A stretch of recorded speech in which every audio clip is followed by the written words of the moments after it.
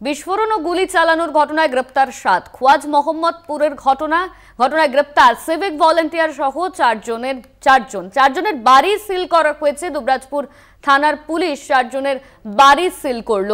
Civic volunteer সহ চারজনের বাড়ি সিল।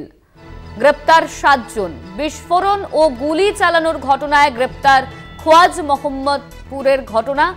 ইতিমধ্যেই সাতজনকে গ্রেপ্তার করা হয়েছে। বিস্ফোরণ ও গুলি চালানোর ঘটনায় গ্রেপ্তার সাত সাত খোয়াজ মোহাম্মদপুরের ঘটনা। গ্রেপ্তার সিভিক ভলেন্টিয়ার সহ চারজনের বাড়ি সিল করা হয়েছে। বিস্ফোরণ ও গুলি চালানোর ঘটনায় গ্রেপ্তার সাতজন। খোয়াজ মোহাম্মদপুরের ঘটনা, সেখান থেকে গ্রেপ্তার করা হয়েছে সাতজনকে। সিভিক ভলেন্টিয়ার সহ চারজনের বাড়িও সিল করা হয়েছে।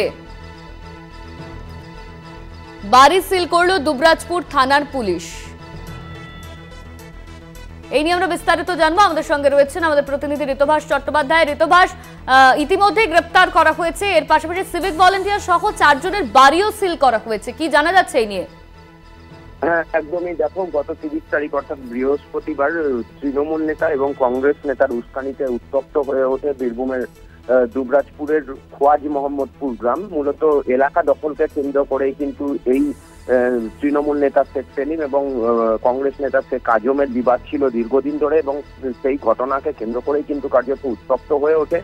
ঘটনার দিন কিন্তু বোমাবাজি হয় এলাকায়, এমনকি গুলি, বেশ কয়েক রাউন্ড গুলি চালানোরও কিন্তু অভিযোগ ওঠে।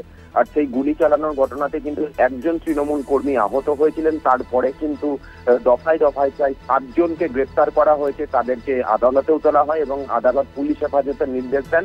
এরই মধ্যে আজকে দেখা গেল যে দুবরাজপুর থানার পুলিশ কেন্দ্রীয় বাহিনীকে সঙ্গে নিয়ে এলাকার চারটি বাড়ি সিল করে এবং এই চারজনের নামে কিন্তু অভিযুক্তের তালিকায় রয়েছে এবং যাদের মধ্যে একজন কিন্তু রয়েছেন শেখ রাজু অর্থাৎ এলাকার সিভিক ভলেন্টিয়ার এবং এই ঘটনার পরেই কিন্তু উঠছে প্রশ্ন, কেননা এই শেখ রাজু কিন্তু সিভিক ভলেন্টিয়ার এবং তিনি কিন্তু এই যে কংগ্রেস নেতা শেখ আজমের ঘনিষ্ঠ বলে কিন্তু এলাকাতে পরিচিত এবং তার নামেও কিন্তু এর আগে একাধিকবার এলাকায় অশান্তির অভিযোগ কিন্তু উঠেছে। অর্থাৎ সিভিক ভলেন্টিয়ার, অর্থাৎ যারা যারা শান্তি শৃঙ্খলাকে রক্ষা করার জন্য দায়িত্বে রয়েছেন, তারাই যদি শান্তি ভাঙার চেষ্টা করেন বা শান্তি ভাঙেন এভাবে তাহলে তো প্রশ্ন উঠবেই। এই কথাই কিন্তু বলছেন বিশেষজ্ঞরা বা বুদ্ধিজীবীরা। অনন্য।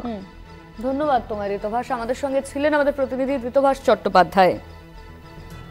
সিভিক ভলেন্টিয়ার সহ চারজনের বাড়ি সিল করল দুবরাজপুর থানার পুলিশ।